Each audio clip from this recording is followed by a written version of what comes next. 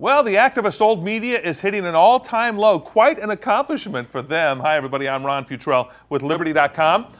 Well, what do you know? The same media that didn't care much about what Barack Obama did during the first 46 years of his life when he was running for president, oh, except they did tell us he was a community organizer, is now in full scale sprint to find out what Republican candidates did as kids. Christine O'Donnell, for example, she's running in Delaware against a guy named Chris Coons, who once wrote an article for his college paper about becoming a bearded Marxist. His words, not mine, okay? But the media wants to know what she did in high school.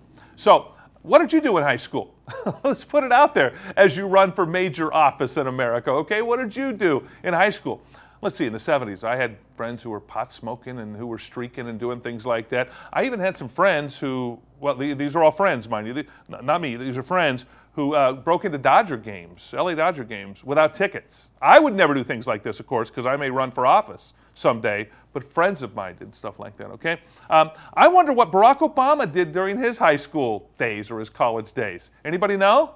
Now, for the first time in the modern age of all this information that we have out there, all of a sudden, we don't know what the President of the United States of America did during his younger years. Hundreds of media swarmed tiny little Wasilla, Alaska to find out everything and anything they could about VP candidate Sarah Palin during the campaign, but the same media had a difficult time finding Honolulu, Columbia University, Harvard Yard, or the south side of Chicago to ask a question or two about what Obama did that made him worthy of becoming king of the free world.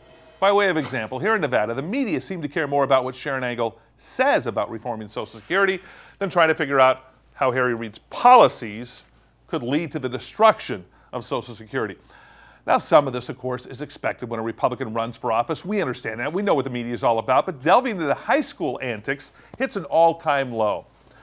By order of disclaimer here, I should mention, while in high school, my football team went 0-8 and 1, okay, one year. As a joke, they did, or we did, a, a, gag on the senior mall where they, we, dressed as, as girls. There may have been some comments that were considered homophobic at the time. Well, to any future candidate that I may run against, or I want to let you know, I had no role in the planning or scripting of this event or in the production thereof. There may be photos too, I'm just warning you, okay? And, and who am I kidding here? I'm finished. My political career is over. It's done. I have no shot at a political career now, unless, of course, I want to run for president as a Democrat. That's the way I see it. I'm Ron Futrell with Liberty.com.